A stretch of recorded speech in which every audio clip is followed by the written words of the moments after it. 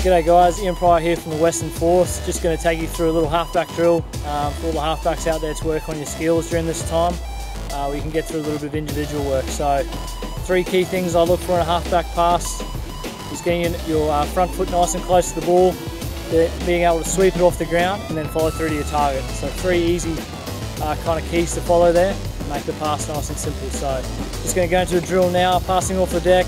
If you've got a mate or you're just try, trying to uh, pick a target on the wall of your house or whatever it is, today I've got a little donut I'm going to try and pass through. And if you want to make it tricky, you can keep rolling the ball out and do a few in a row. So, see how we go. So again, trying to get your foot nice and close to the ball, nice and low to sweep down. Follow through to your target, make it nice and easy. See how we go this one.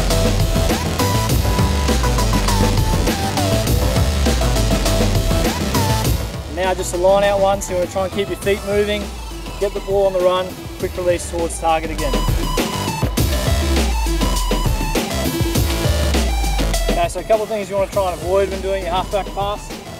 You don't want to get your leg out too far in front, so you have to pass over, which then makes you stand up. And the other thing is you don't want to stand up on the pass, you want to try and stay low. So if you come in, you want to have your target back there, pick up, mark the cross, stand up, because then the ball will go up. And then the other thing, when you, if you do get a good approach, you don't want to stand up after it. You want to keep your chest down, follow through. So you want to stand up and go like this. Then you get a sweep, follow through onto the ball. Hope that helps, guys. Stay safe during this time. Cheers.